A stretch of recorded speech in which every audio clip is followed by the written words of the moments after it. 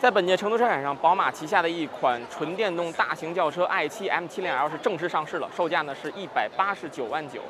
这款车啊，可以说是宝马纯电动轿车的旗舰车型。外观方面呢，这款车呢是沿用了全新七系的一个整体的设计，并且啊融入了很多 M 的套件在里面。就比如说这个带有 M 标识的一个中网，以及这个左右的一个装饰装饰件，还有就是车侧的一个翼子板上的一个 M 标识。诸多的这个 M 套件啊，让 i7 M70R 虽然是一款尺寸很大的一款纯电动轿车，但是啊，它的运动气息呢是一点都不减。OK，来到了宝马 i7 M70L 的一个车身侧面啊，它的车身长度呢是接近了五米四，轴距更是超过了三米二，一个标准的一个大型车的一个尺寸，并且啊，这款车呢是提供了多种的高端定制的一个双色车漆，彰显了旗舰和豪华。轮圈呢是采用了一个二十一寸的一个双色的轮圈，也是这个 M 套件的一部分啊。然后规格啊是前后配的规格，前面呢是二五五四零，后面呢是二八五三五。呃，一个隐藏式的车门把手可以电弹出来，然后呢三角窗这儿，哎，它没有这个边框，只是这个三角窗这儿没有边框，所以这个设计还挺独特的，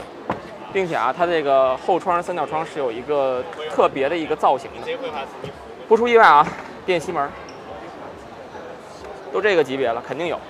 OK，来到了 i7 M70L 的内饰啊，嗯，看上去呢还是那个熟悉的宝马。然后呢，它是用采用了一块双联屏的一个设计，并且有小幅度的一个曲面。前面呢很多碳纤维纹路的饰板。